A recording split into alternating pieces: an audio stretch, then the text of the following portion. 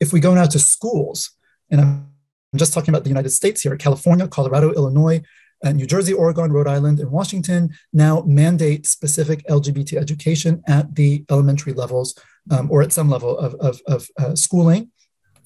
Um, other states have rolled out in quote unquote inclusive curriculum standards, but have not necessarily signed statewide bills, uh, at least not of yet.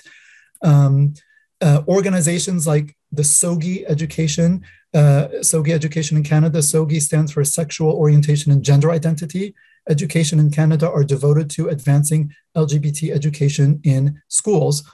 Um, and many people may have heard of the latest brawl with Disney, the Disney Corporation in Florida, when the governor of Florida actually uh, moved to ban discussion and teaching of LGBT related themes in uh, Florida state classrooms in the first and second grades. So we're just talking about, I mean, first and second grades and before.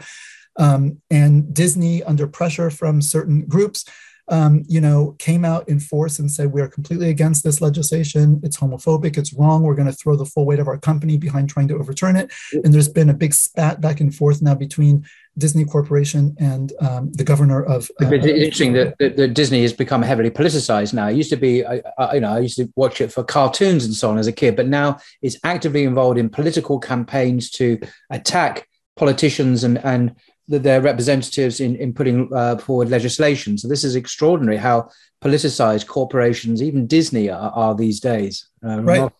Right, and it's uh, you know uh, interesting that you should mention that because our very next slide, we're going to meet this gender genderbread person later on in the um, in in the oh, right in the presentation. So we'll come back to him or her, uh, you know, the, the person. I noticed, I noticed, the brain of this gingerbread. Uh, firstly, the gingerbread man has a brain, which is I didn't realize they had brains. But anyway, uh, this one has a multicolored brain as well. That surely yes. something. Right.